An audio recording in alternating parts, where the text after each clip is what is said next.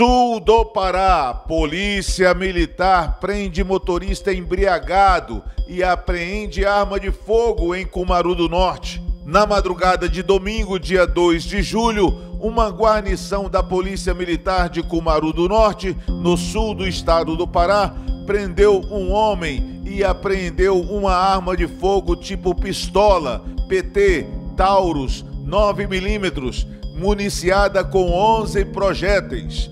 Os militares realizavam rondas pela cidade quando perceberam o motorista de uma caminhonete Toyota Hilux com dificuldade de estacionar o veículo.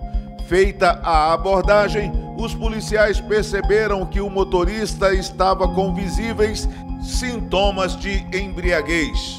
Durante a revista veicular, foi encontrado a arma de fogo o homem foi conduzido junto com a arma e o veículo até a delegacia de Polícia Civil de Cumaru do Norte, onde foi autuado no crime de porte ilegal de arma de fogo.